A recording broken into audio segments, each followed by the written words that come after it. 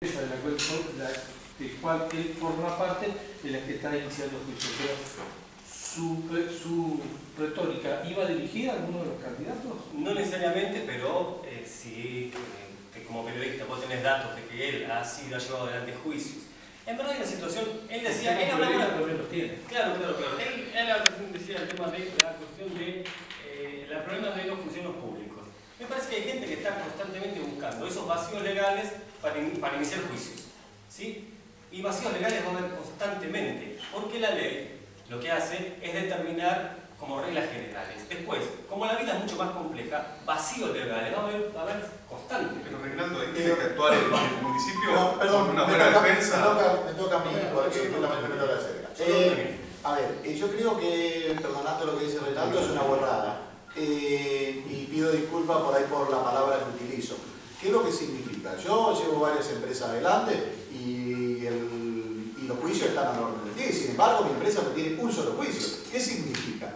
De que los juicios están cuando uno es caprichoso, los juicios están cuando uno piensa ideológicamente y no actúa en forma sensata. Cuando yo tengo que sentarme, ¿qué es lo que yo siempre doy un ejemplo? Yo tengo un trabajador, 10 años, y resulta que el trabajador es prácticamente mi hermano, viaja conmigo, eh, para en los hoteles conmigo, cuando se va de vacaciones, se va de vacaciones en, mi auto, cuando llega a un lugar de vacaciones, si yo tengo una casa en ese lugar, vacaciona en mi casa, y. Yo no le pago sueldo. A los 10 años, la persona viene y me dice, Juan Carlos me está debiendo 10 años de sueldo. Yo digo, che, qué injusto que es. Qué inmoral que es. Yo tengo que sentarme legalmente y analizar si eso es factible o no es factible. Si voy a perder el juicio, lo voy a ganar. Ahí terminó la cuestión. No hay cuestión ideológica, no hay cuestión de sentimiento, es una cuestión de derecho.